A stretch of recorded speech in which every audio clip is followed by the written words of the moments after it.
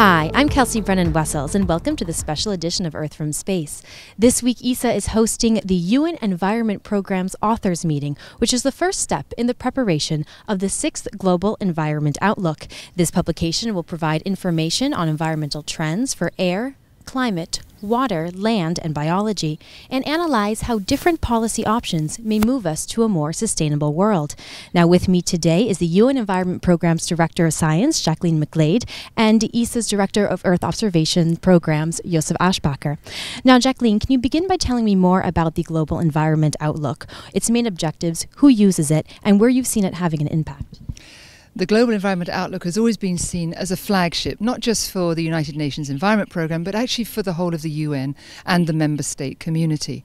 The way they use it is to really give a backdrop to evidence informed policy making, because it's not just about science, it's about the impact of that scientific evidence on what will happen in society and in the economy at large.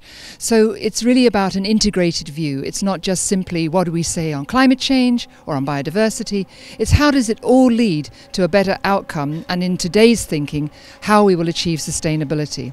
But the big change this time is that we want to drive it through the view of data, of real evidence coming from the planet as we sense it today, not just looking at the past, but really trying to build up a picture of the future, which is why we are here joining hands with the European Space Agency here in Frascati to really upgrade the level of data that we use to inform our assessment.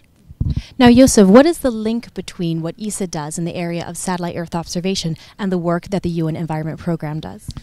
The United Nations Environment Programme is doing fantastic work on uh, monitoring the state of uh, the environment globally and that's exactly what ESA is doing. ESA is also looking at the state of the environment globally, but with satellites.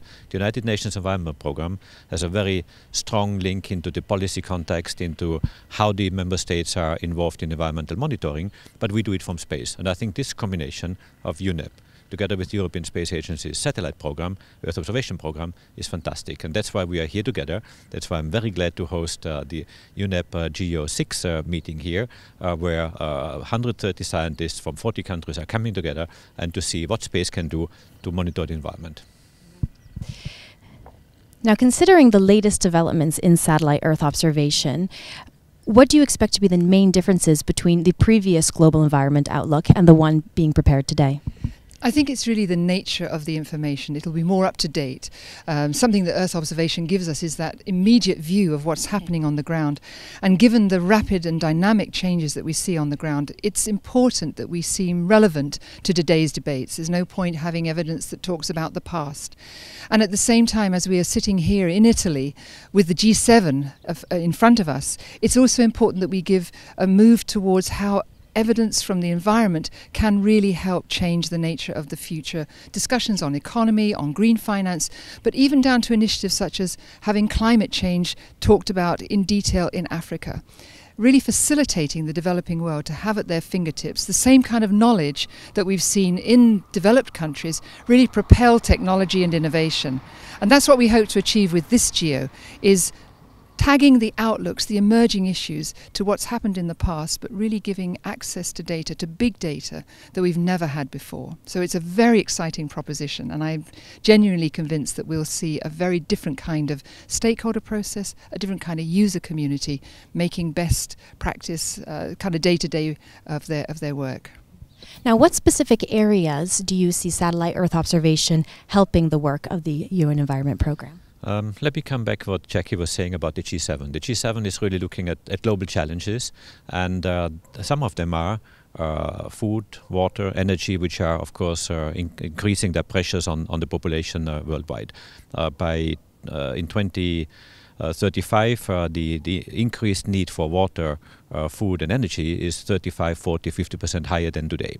So this is really uh, putting pressure on the planet, uh, which needs to be monitored. And I think there we are working extremely well together because there we have the policy angle and also the scientific uh, knowledge of all the, the members of the various countries uh, through the UNEP uh, context, where we can help with, with space.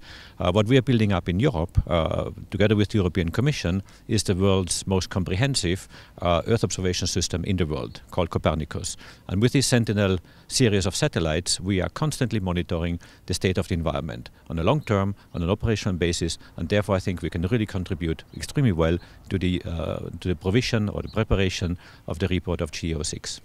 Well, Josef and Jackie, thank you so much for joining us today. And to our viewers, remember that to learn more about space or about our planet, you can visit our website at www.esa.int.